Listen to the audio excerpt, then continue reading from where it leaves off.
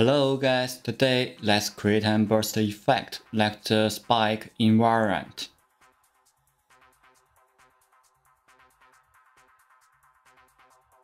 Okay, first we need to create a material for the black sphere. It's always blend mode translucent and lit, but this time we don't need two-sided.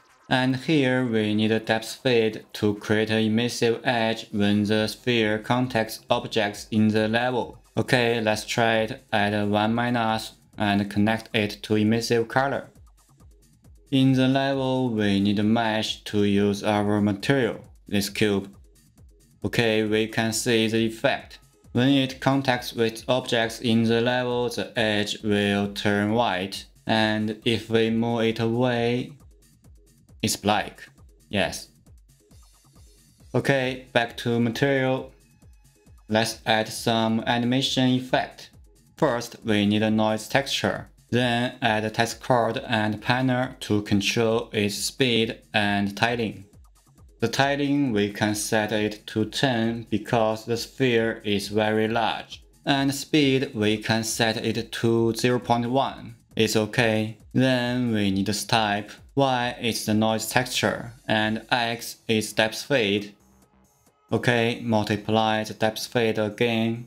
Because the value of our emissive edge is the same after step, so we multiply it by depth fade, then will be a gradient effect, which looks better. Finally, we can add a particle color to control it in Niagara. Okay, save the material. Now let's create a Niagara system. Okay, first we need a mesh render.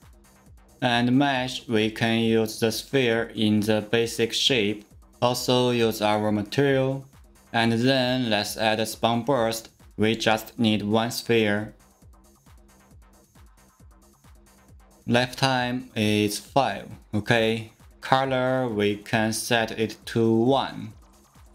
A default color. And mesh scale mode, we need a large value, maybe 5. Okay, let's say it in the level. Okay, it still looks a bit small. Let's add a scale mesh size in particle update. We can use a curve to control the mesh size. When k is 0, the size is also 0. 0 0.5 is 1. 0 0.8 is also 1 because we need to keep it going for a while. Finally, when key data is 1, the value is 0. And scale curve, we can set it to 8 to make it look larger. Okay, this size is good. Oh, we spawned two spheres. Why? Let's check it. Okay, we have two spawn bursts. I don't know when it was added. Let's delete one. Okay, now let's create a new material. It's same translucent and lit, and we need a texture of water caustics. Then let's add a distort effect. We made it many times, so let's fast forward to this part.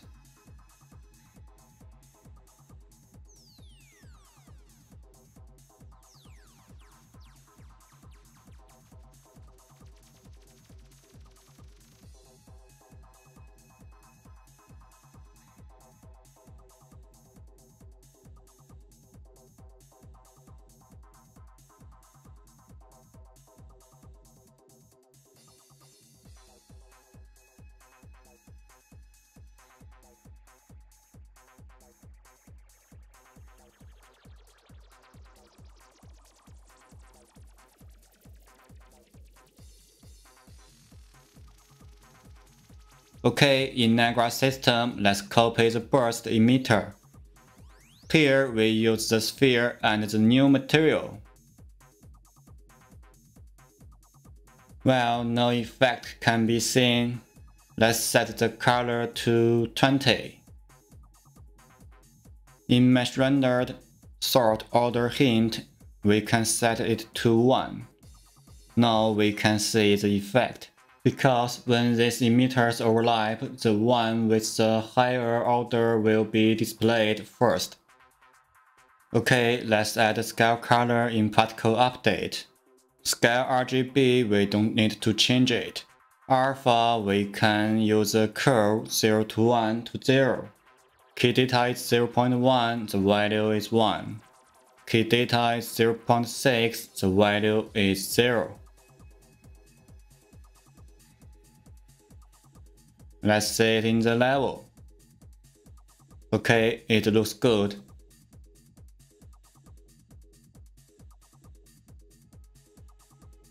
Now let's copy another emitter. Here we need a material instance. Use the material we just recreated. We need some changes to these parameters.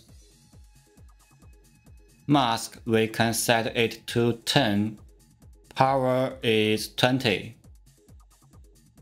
Speed 0.5, 0.5. B is 0.25. A is 0.15.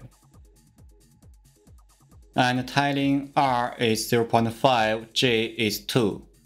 B and alpha are same. Okay back to Niagara system and use the new material instance. Okay, let's take a look. Well, it may not be very clear. Let's hide this for a while. Okay, now we can see we need a stronger color, so we can set the color to 100. Alpha is 10. Yeah, it's enough. And we don't need scale color.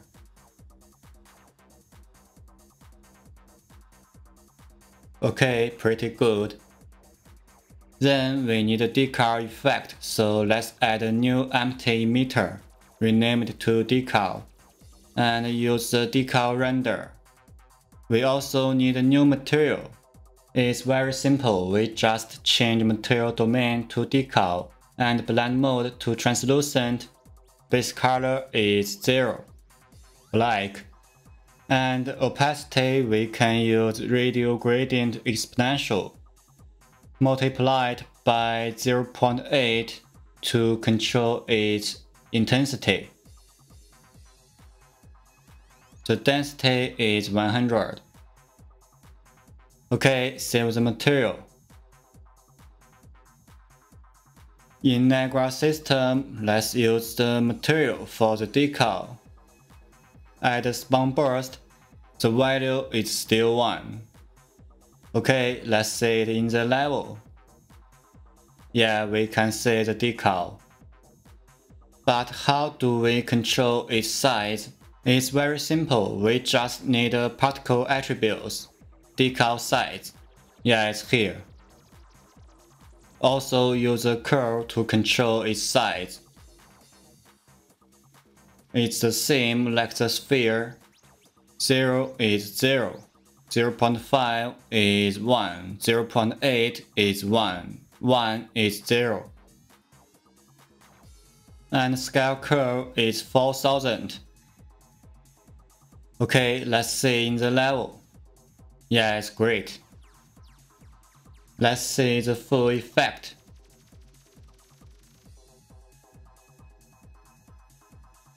Uh, our decal should be a delay, so the key data is 0.9. Okay.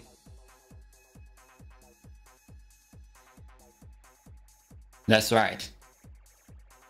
Then let's create a glow in the center. Add a new emitter. Spawn burst is 1. Initial particle, the color, we can set it to 100. Alpha is same 100. Sprite size, we can set it to 102. And we need a scale sprite size in particle update. The curve is same as the sphere. Okay, let's see it in the level. Okay, we didn't see anything because we forgot to change the sort order hint. Let's set it to 99. Okay, we should see it now. Yeah, it's work. Finally, let's add some spark for this effect. This time we can use spawn rate. The value we can set it to 200. And we can use spawn probability. Use a curve to control its probability.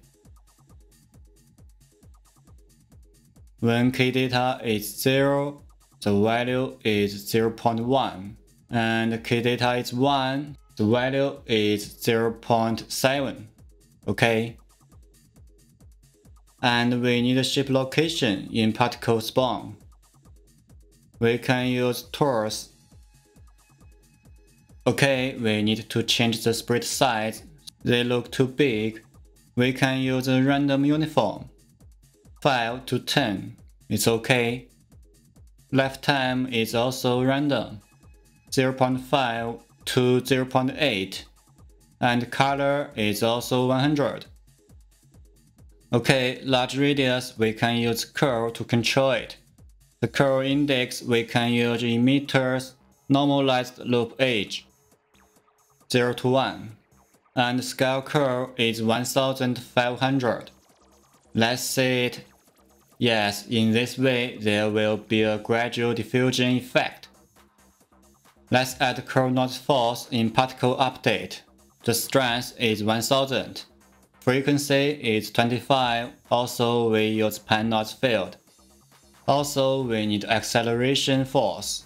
We just need z-axis force. Use a curve 0 to 1. The scale curve is 2000. Yeah, that's right. And we also need to change the sort order hint 99. Okay. Okay, let's see the complete effect. Oh yes, we forgot to change the life cycle mode to self once and loop duration is 2.5 because we only need the half the time. Just diffuse it to the max range.